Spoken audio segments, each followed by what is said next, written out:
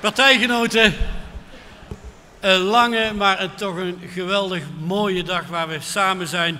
En ik sluit me heel graag aan bij uh, die dankwoorden voor al die mensen die voor jullie gezorgd hebben. Voor de catering, voor de beveiliging, voor het licht, voor het geluid. Geeft die dus uh, applaus.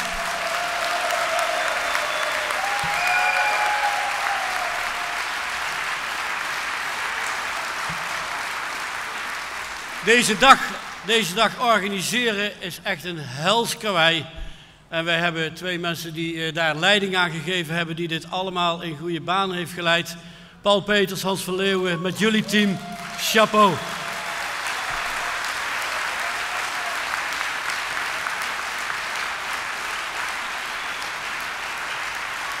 En met jullie uiteraard dat hele team dat dat gedaan heeft. Maar dan kun je het nog zo mooi voorbereiden als de dag zelf in de soep loopt, dan hebben jullie er niks aan. Maar dat is niet gebeurd dankzij de geweldige leiding van Mariska en Erik. Dank jullie wel.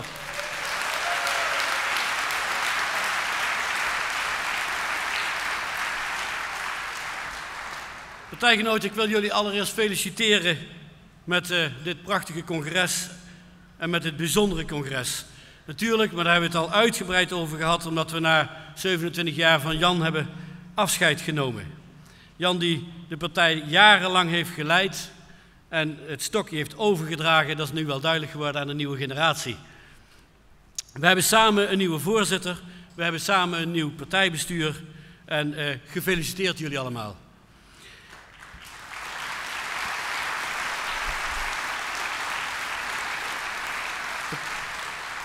Partijgenoten, de afgelopen weken zijn we allemaal volop bezig geweest met die voorbereidingen voor het congres. En Ron en Sharon, jullie zijn avond op avond afdelingen ingegaan om met honderden leden, misschien wel duizenden, ik kan niet tellen hoeveel, in gesprek te gaan eh, om met die leden te discussiëren over de toekomst van de partij en alleen maar over de toekomst van onze partij. Ik ben daar trots op en ik wil jullie daar ongelooflijk voor bedanken allebei.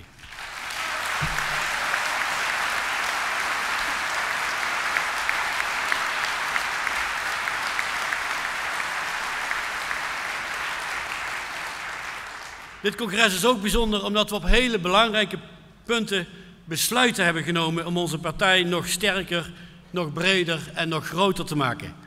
We hebben een stevige ambitie uitgesproken. Fors meer afdelingen en van de SP de grootste ledenpartij van Nederland maken. En dat, kameraden, dat gaat ons lukken. Want we waren al de beste partij van Nederland en na vandaag weet ik het zeker, wij blijven de beste partij van Nederland.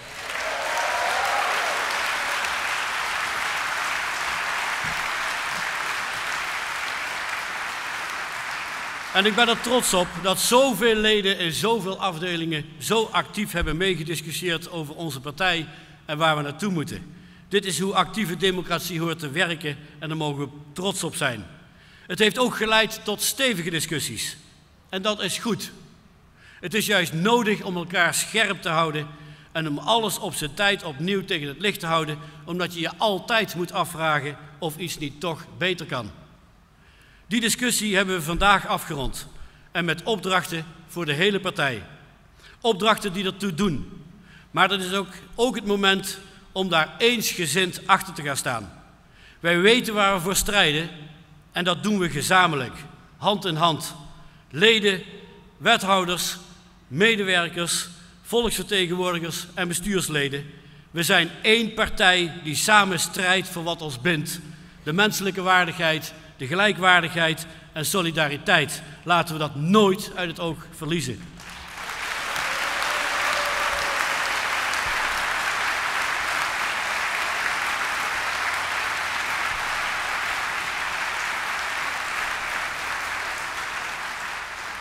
Wie de laatste weken de televisie aan heeft gezet, die heeft gezien dat er soms weinig reden tot optimisme is. De chaos in Syrië en de omringende landen lijkt met de dag groter te worden.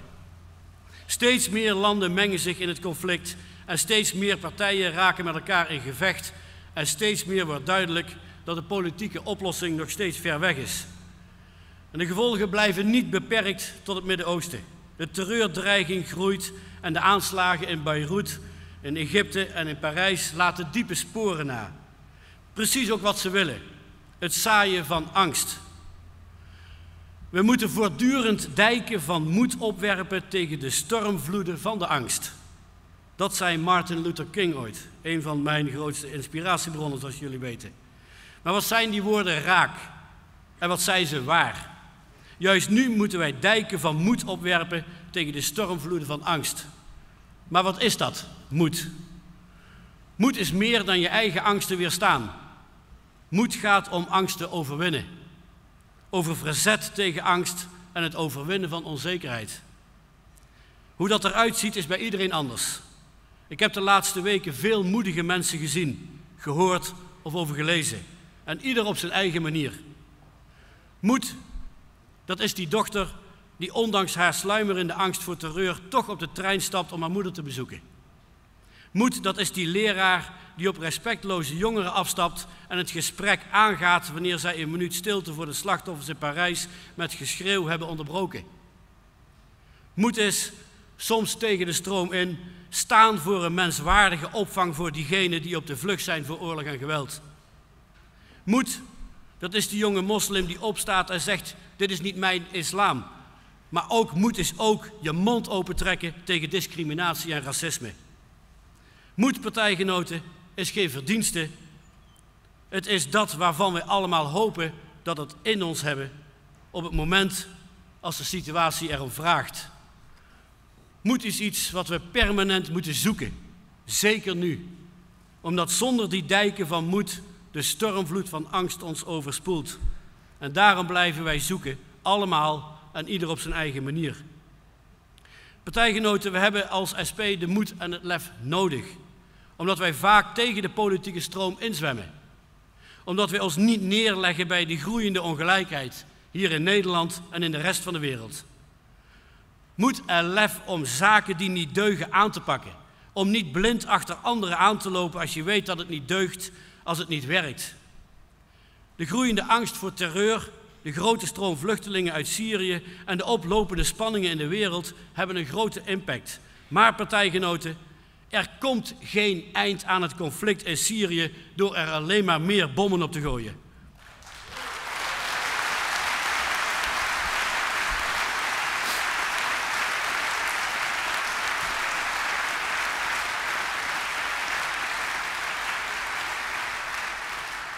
Al 15 jaar lang blijkt dat de agressieve interventiepolitiek alleen maar contraproductief heeft gewerkt. Het heeft juist de deur opengezet voor extremisme en terreur. Er zal gewerkt moeten worden aan een politieke oplossing, aan een staakt het vuren, aan een wapenembargo voor het hele gebied en het droogleggen van IS door alle financiële lijnen door te snijden.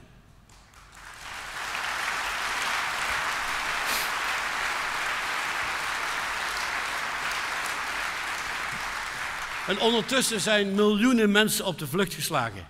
En natuurlijk, partijgenoten, natuurlijk kijken wij dan niet de andere kant op. Dan pleiten wij voor fors betere opvang in de regio en voor een menswaardige opvang hier in Nederland.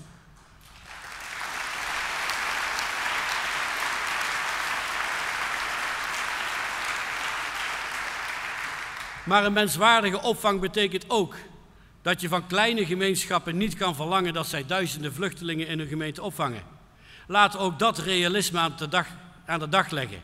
Dat kleinschalige opvang betere opvang is. Voor de vluchtelingen zelf, maar ook voor de omgeving.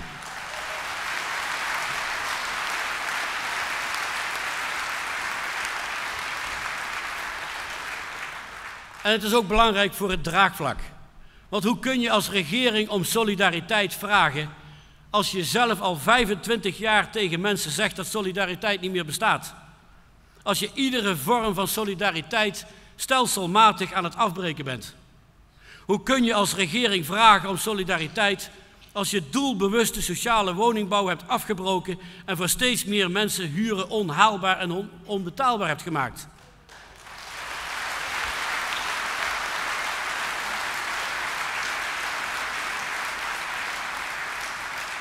Hoe kan, hoe kan een regering van alle Nederlanders vragen solidair te zijn als grote groepen mensen keer op keer de klappen hebben gekregen onder de armoedegrens duiken, de zorg niet meer krijgen die ze nodig hebben of afgedankt zijn op de arbeidsmarkt. Daar, partijgenoten, daar onderscheiden wij ons van andere partijen.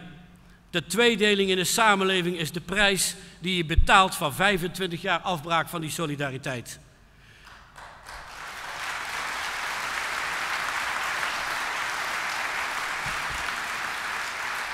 En het is dan ook onze taak om die groepen juist te verbinden. Om niet zoals andere politici doen, de slachtoffers van de neoliberale politiek tegenover elkaar te zetten, maar juist om hen samen te brengen. Wij gaan voor solidariteit tussen alle mensen. Daar ligt onze kracht.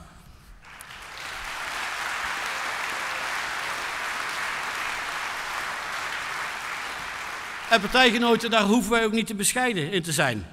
We hebben de analyse, we hebben de alternatieven en we hebben het activisme om die rol waar te maken. Dagelijks horen wij de berichten van mensen die niet de zorg krijgen die ze nodig hebben. Ouderen die onnodig lang in het ziekenhuis liggen. Ze zijn niet fit genoeg om naar huis te gaan en niet ziek genoeg om in het ziekenhuis te liggen. Voor steeds meer van hen is er nergens plek. En ondertussen verdwijnen er tienduizenden mensen in de zorg en nu mogelijk ook weer 12.000 bij de thuiszorgorganisatie TSN. Beste mensen, als u nog niet getekend heeft, doe dat en vraag uw buren, uw tantes, uw ooms, uw, kan mij schelen wie, maar die 1 miljoen handtekeningen, die gaan we halen.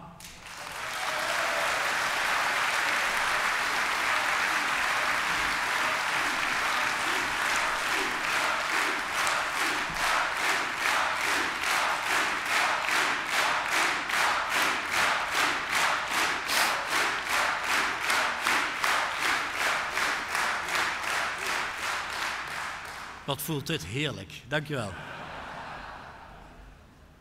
Maar beste mensen, het is ook nodig. Want anderen moeten naar de rechter om hun recht op thuiszorg veilig te stellen. Staatssecretaris Van Rijn vindt dat allemaal heel normaal. Hij vindt het geen probleem dat de ene gemeente voor goede thuiszorg zorgt, terwijl de andere gemeente ouderen zo hard mogelijk uitknijpt. Laat ik het dan maar hier zeggen. Het is de schande van onze tijd dat ouderen in de herfst van hun leven naar de rechtbank moeten om fatsoenlijke zorg af te dwingen. Van Rijn zou zich kapot moeten schamen.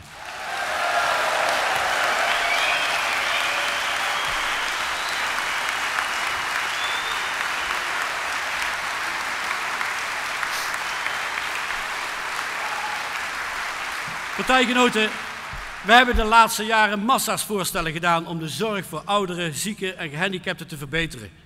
Inmiddels is er een heel groot draagvlak in de samenleving voor onze plannen voor één publieke basisverzekering. Zorg zonder marktwerking en zonder eigen risico. Ook onze voorstellen voor een gemeentelijk basispakket liggen klaar. En daarmee breken we met de willekeur die er nu heerst. Want goede zorg zou niet afhankelijk worden van je postcode. Was dat niet een van de verkiezingsbeloften van de PvdA? Partijgenoten, ik kan jullie geruststellen. De kasten op de Tweede Kamerfractie barsten uit hun voegen omdat we zoveel mooie voorstellen al hebben uitgewerkt. Het enige wat er aan deze plannen ontbreekt is een SP-minister om ze uit te voeren, maar dat, dat is slechts een kwestie van tijd.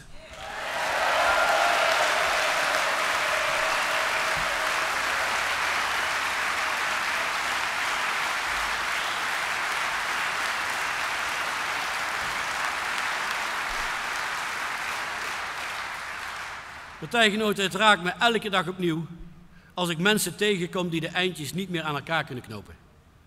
Rekeningen die blijven liggen, huisuitzettingen, slapeloze nachten, zorg die niet betaald kan worden, uitsluiting, eenzaamheid, woede. Jullie treffen ze allemaal bij de hulpdiensten, je spreekt ze op straat of leest de verhalen in brieven en mails. En onder hen veel gezinnen met kinderen en het worden er steeds meer. Inmiddels meer dan 400.000 kinderen in een rijk land als Nederland. En het gaat maar door met dit rechtse kabinet. Nu ligt er weer een belastingplan dat de inkomensverschillen verder vergroot, dat de hoogste inkomens het meeste voordeel geeft en de mensen met de laagste inkomens, waaronder veel ouderen, het nakijken geeft. En ook daar maken wij het verschil. Geef het belastingvoordeel niet aan de hoogste inkomens, maar gebruik die miljarden om eh, de, armoede uit te bannen.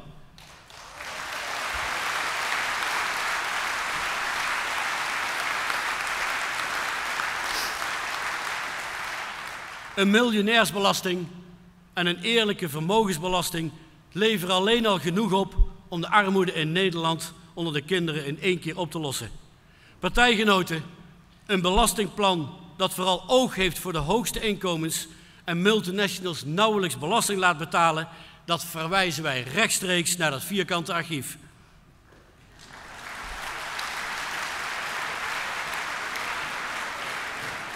En hetzelfde doen we met het huurbeleid van het kabinet. Honderdduizenden huurders worden volgend jaar voor het vierde achtereenvolgende jaar geconfronteerd met een forse huurverhoging. De huren zijn er de laatste drie jaar met gemiddeld 13% gestegen. Dit moet zo snel mogelijk stoppen. Willen we een nieuwe armoedegolf voorkomen, dan moet het huurbeleid van dit kabinet zo snel mogelijk van tafel.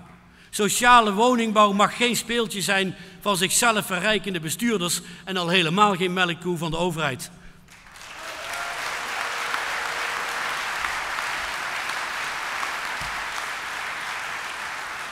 En ook hier liggen onze alternatieven voor een sociale woningbouw op tafel. Meer huizen door de verhuurdersheffing om te zetten in een investeringsplicht.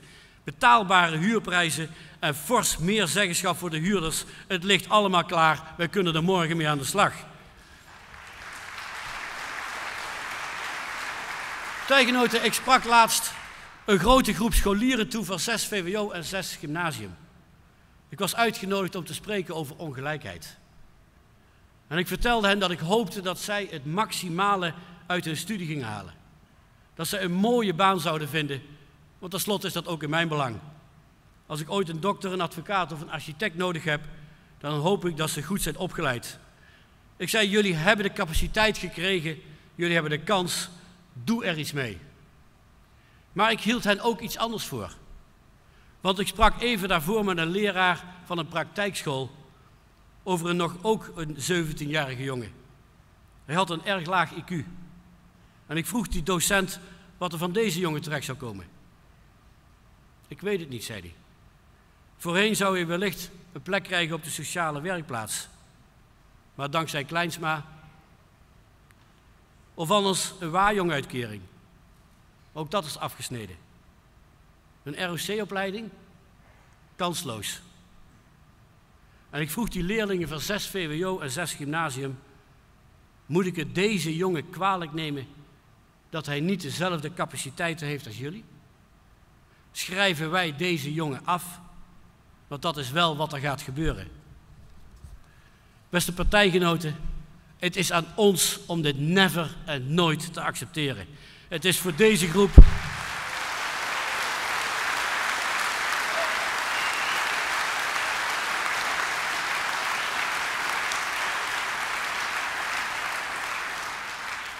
Het is voor deze groepen dat wij het opnemen.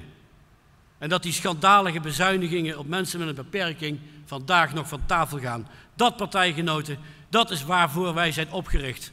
Om op te komen voor medemenselijkheid, voor solidariteit en van het aanpakken van misstanden. En ik zal dat blijven doen zolang ik voor jullie hier mag blijven staan.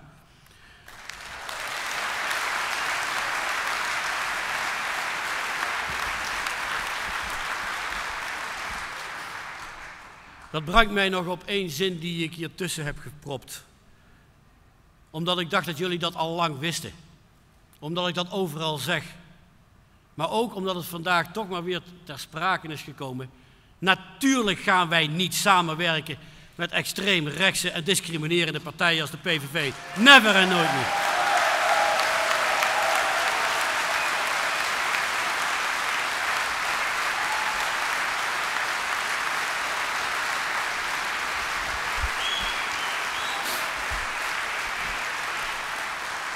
Partijgenoten, het was een bijzonder congres. Na maanden van gesprek, discussie en in afdelingen en regio's hebben we gezamenlijk de richting van de partij weer vastgesteld.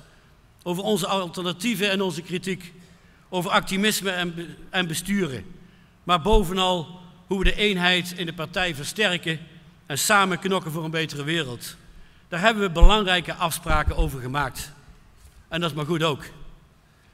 We zijn de grootste oppositiepartij en de grootste partij op links. En dat schept verplichtingen, maar het schept ook heel veel nieuwe kansen. De SP bestuurt al in meer dan 40 gemeentes en in de helft van de provincies. En van links tot rechts wordt inmiddels erkend dat de SP een goede en betrouwbare partner is om mee samen te werken. En op steeds meer plekken maken we daarmee het verschil. Door het voor elkaar te krijgen om lokaal armoede aan te pakken.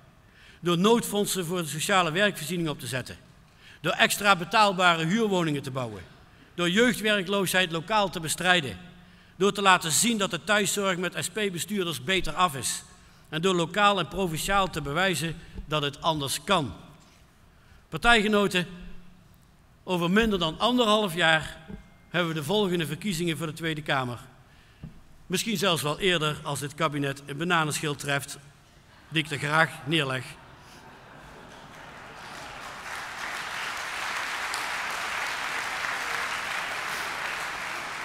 Vandaag, partijgenoten, vandaag hebben jullie laten zien dat wij klaar zijn voor die volgende wedstrijd.